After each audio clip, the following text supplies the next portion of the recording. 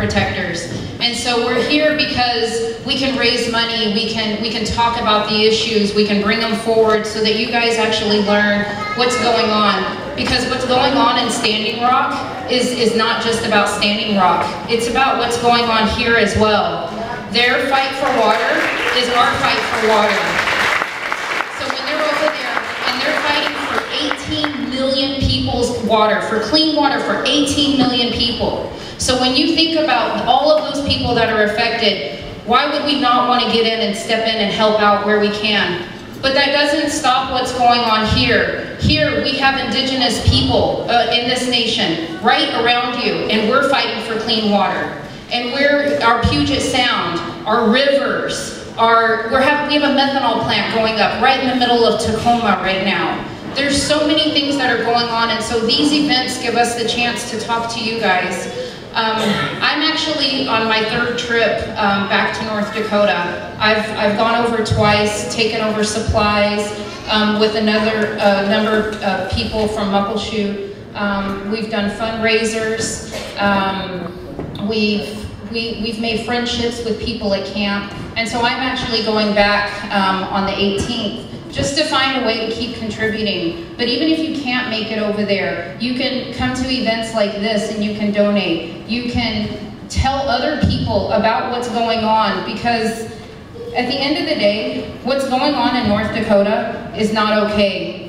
What's happened to Native people for the last 500 years is not okay. What's happening to indigenous people around the world right now is not okay. What's happening to human beings in this world is not okay. And what's happening to Mother Earth right now is not okay. This fight is about so many other things. This is an opportunity for us to let you know that we as Native people are still here, that we're fighting for you, that this isn't just about us. This isn't just about our reservations and our lands. This is about your lands. We live in one of the most beautiful states in the country right now, but if we don't get involved in these fights, we don't get involved with keeping our water clean, we don't develop these relationships with our native communities, then we're not going to have a beautiful state to live in. And those people that are in North Dakota, if we don't keep being a part of these events and we don't keep being, and we don't keep talking about it and we don't keep educating ourselves,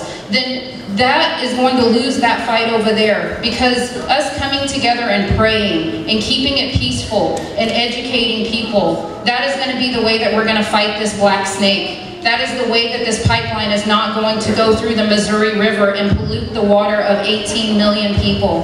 And so again, I want to thank the ladies for having this event tonight, but I also wanted to come up here and let you guys know about an event that I'm helping host. So next weekend on Saturday from 12 to 3, we will be hosting Medicine Creek Treaty Tribes Stand with Standing Rock.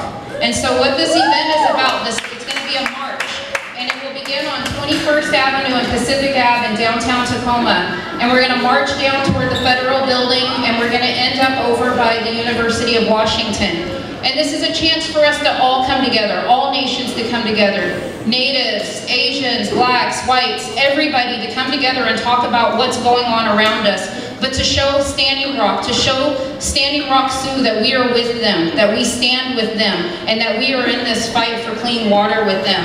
And so again, thank you all. And my name Rachel Heaton. And if you go onto events um, and look up Medicine Creek Treaty Tribe Stand with Standing Rock, um, we would love to have all of you a part of this event as, as well. And again, thank you for being here.